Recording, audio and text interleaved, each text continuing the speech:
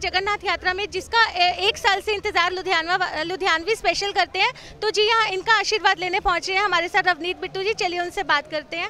Hello sir welcome to Times Punjab TV और सबसे पहले हरे कृष्णा। हरे कृष्णा पहले सर तो आप बताइए कि कैसा लग रहा है आपको आज एक साल के इंतज़ार के बाद? आज फिर से ये रथ यात्रा यहाँ लुधियाना में अरेंज की जा रही है तो कैसे लग रहा है आपको यहाँ के? पहले तो टाइम्स पंजाब को मुबारकबाद। जो जगन्नाथ यात्रा के शुभ मौके पे आप सारी ये कवरेज दे रहे हो तो मेरी तरफ़ से एमएलए साहब की तरफ़ से सब की तरफ़ से, कांग्रेस पार्टी लीडरशिप की तरफ़ से, लुधियाना शहर वासियों को भगवान जगन्नाथ यात्रा पे बहुत बहुत मुबारक। ये तेईसवीं यात्रा है। तो बिल्कुल आपने ठीक कहा भी हर एक पूरा वर्ष लोग जो भगवान जगन्नाथ के सेवक हैं, जो उनके न्यायी हैं वो वेट करते हैं, इंतज़ार करते हैं भी किस दिन वो दिन दोबारा आए। तो मैं समझता हूँ किसी के पास जितनी भी क्षमता है, चाहे कोई एक रुपया हो, चाहे करोड़ों रुपया हो अपनी अपनी भावना अपना अपना स्टॉल लगा के आज इतनी श्रद्धा से जो जो किसी के बस में है, चाहे टॉफ़ी हो, बिस्कुट हो, कोल्ड ड्रिंक्स हो, आइसक्रीम हो, कोई कमी नहीं छोड़ता। तो भगवान का आशीर्वाद लेने के लिए मैं समझता हूँ लाखों लोग आज सड़कों पे उमड़े हुए हैं और हमारी भगवान के सामने आज हमने सबने ये मिल के दुआ की है। भगवान लुधियाना को सुख, शांति दे, तरक्की दे और आपसी भाईचारा जो सबसे ज़्यादा हम सब मिलके प्यार से रहें और नया साल आने वाला है। भगवान हमारा नया साल सबका शुभ हो और नए साल में सब तरक्की करें और सबके परिवार आने वाले दिनों में मिलजुल के दिन, दुगनी, रात, चौगनी तरक्की करें। यही भगवान के आगे हमने आज अरदास की।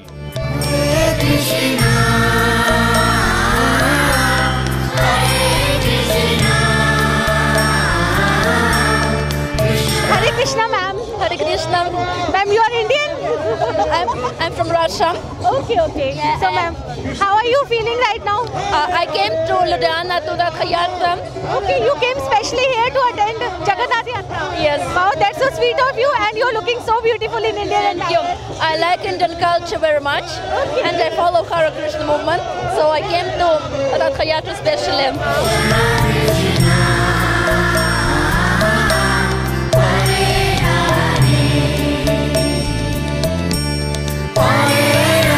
Hare Krishna, आज बहुत ही खुशी का समय है।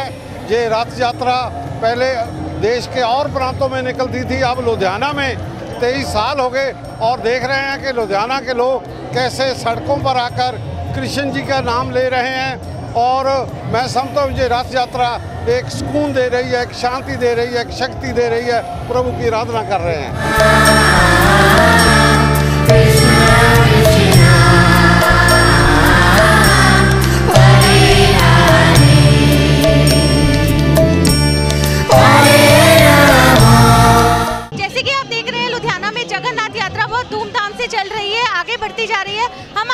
आपको हैं हमारे लुधियाना के एमएलए मिस्टर सुरेंद्र डावर जी से।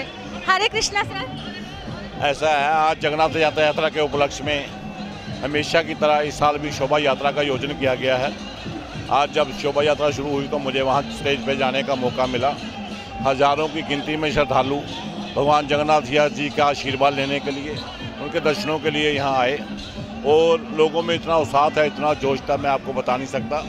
और आप देखिए जहाँ जहाँ से रथ यात्रा ने गुजरना है उस रास्ते में हज़ारों की गिनती में श्रद्धालु और जहाँ जगह स्टेजें लगी हुई हैं। फल फ्रूट लोग बांट रहे हैं। हमारी स्टेज भी साढ़े तीन घंटे से तीन घंटे से चल रही है। तो इतना फल फ्रूट बांटा है मैंने ज़िंदगी में पहली बार।